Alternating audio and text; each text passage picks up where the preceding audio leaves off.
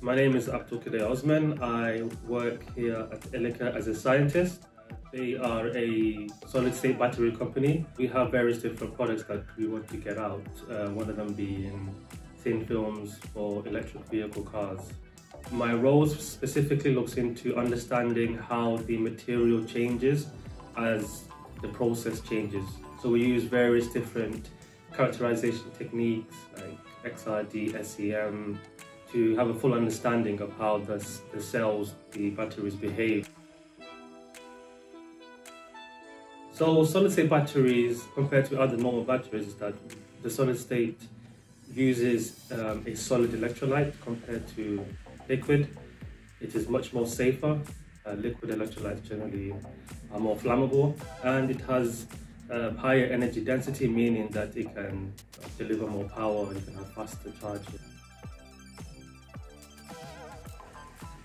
Started off when I was much younger, so when I was in high school actually, I enjoyed uh, science uh, more than any other subject. And I continued to my undergraduate, because my master's was in chemistry.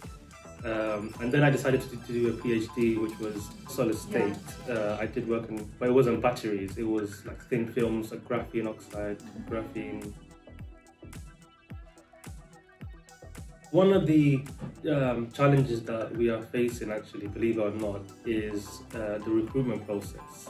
So, as you know, with this electric vehicle, most of the companies are expanding, and so we have a lot of positions, for example, science positions, engineering positions, polymer chemists, operators. And one of the things that Ilika are doing, which I think is um, pretty great, is that as well as the normal conventional posting jobs on LinkedIn and stuff, they are also taking on internships, so university students in the summer. A student from A levels who you know did his um, work experience here. And I think that's a good way to get um, you know, the younger generation introduced to what batteries is as a whole. Me as a youngster, I actually wanted to do a lot of things. Um, scientist was one of them actually, but you know, you want to be a dentist, for example, you want to be a footballer or whatever. Well, scientist fell into my plate basically. Felt like it was the most better option compared to some other things. That's how I became a scientist.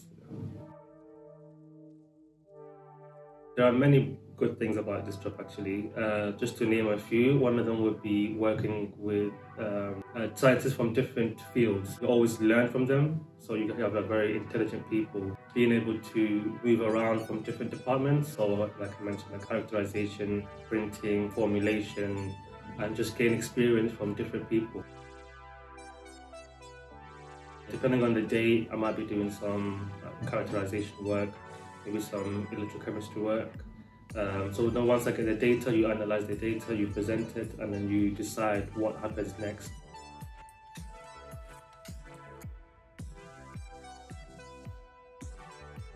One of the advices that I would give to young scientists and I would give to myself as well is to not be overwhelmed, not be afraid because science in, as a whole is a very broad um, area. And as a young scientist you may not know what uh, branches of science you want to go into. And keep an open mind, uh, work hard on all of them, and then as you progress, you will find out you know which area that you would prefer to go into, and uh, it would definitely just work out on its own. So